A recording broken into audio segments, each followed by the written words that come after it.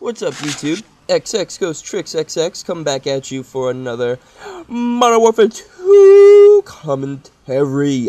That's right, that's right. I got some Modern Warfare 2 for you today.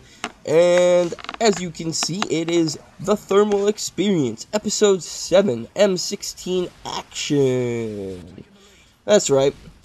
I've had this gameplay for quite some time, mainly because I haven't been putting it up because of, well, Modern Warfare 3, duh. So, yeah, now you know.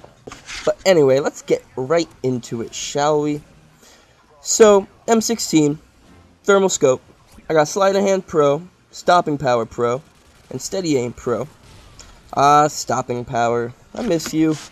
Modern Warfare 3 so different, isn't it? But it's like weirdly the same. It's, I mean, it actually it really is the exact same game. My roommate really thinks it is.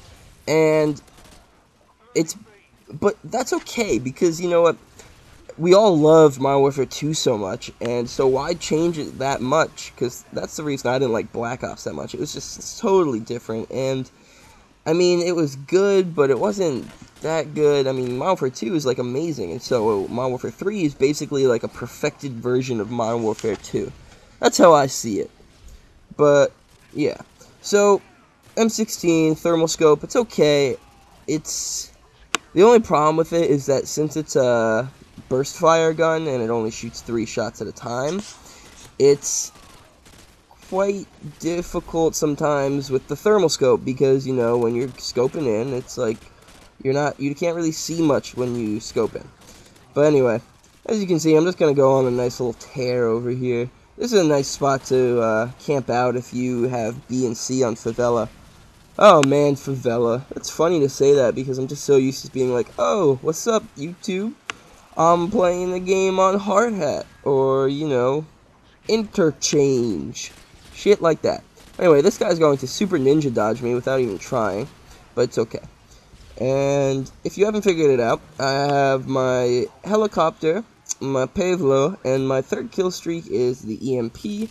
I don't really remember why I put the EMP on at this point. I might have just felt like getting an EMP. This is such a this is a gameplay that I got very long ago. So, and I actually end up right. I think yeah. From here on, I just end up using not the M16 because I ran out of ammo with it, but I still end up going on like a 33 kill streak or something. So, I mean, with the help of my Pave Low, of course. I mean, come on, you think think I could do that? And there's my 15 kill streak. And yeah. But M16 with thermal scope, it's it's similar to other weapons in the fact that you can scope in with it and almost quick scope because this is a nice little drop shot right here. I would have been screwed if I didn't, and I just got the last of my ammo. Thank the Lord this guy had a shotgun because it helps me out. I love the spaz.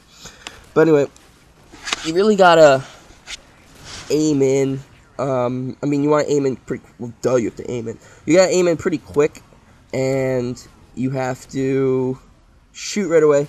And the great thing about the M16 is it's such a powerful weapon that you can kill someone in like a couple shots, one burst fire, pretty much anywhere. Like you can probably shoot them in the leg and they'll die.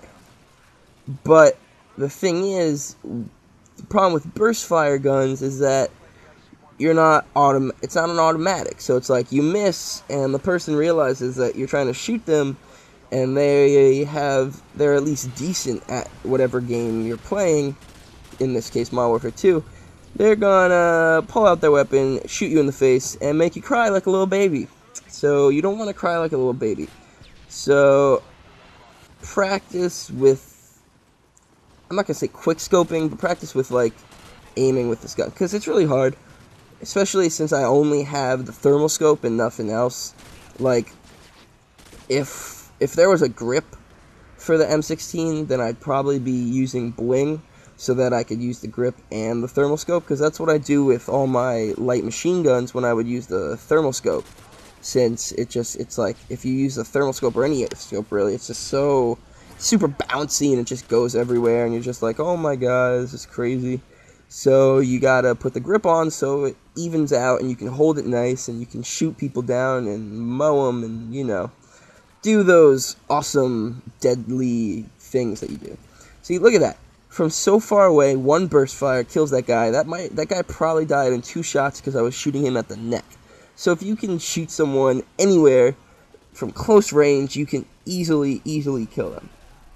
And yeah, that's why the M16 is so good.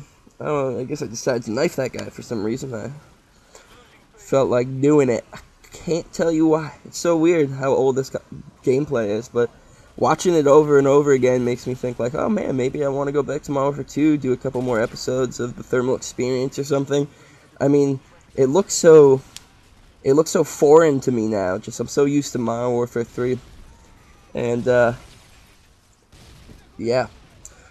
But let's see, what else can I tell you? I got the frag grenade on. Usually I have the Semtex, but I decided trying to get some achievements with the frag fraginator. I don't know if that's really that cool of a word, but I'm going to say it is. See, that guy sort of sucks, because I took, like, three burst fire shots at him, and he... Well, he didn't... I hit him, so he didn't die, and he could have easily just, like, you know, drop shotted me. This is pretty funny. Um, I'm pretty sure I was going for the hot potato, uh, you know, achievement, where you have to pick up grenades and throw them.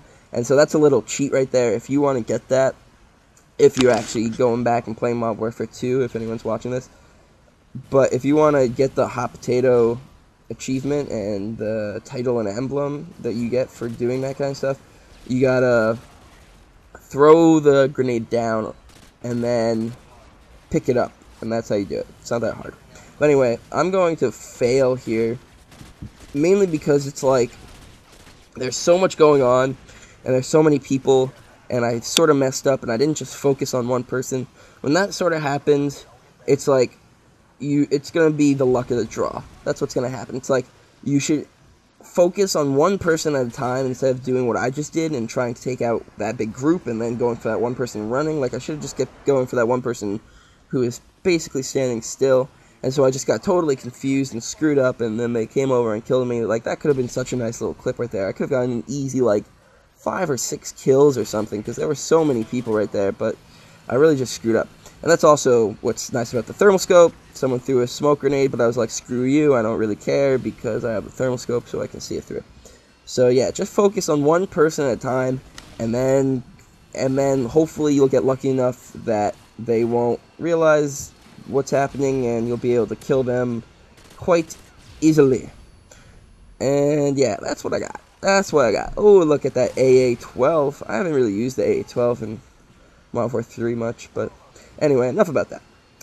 So, the game's coming to a close. I hope I taught you a couple things about Modern Warfare 2 and using the thermal scope for the M16.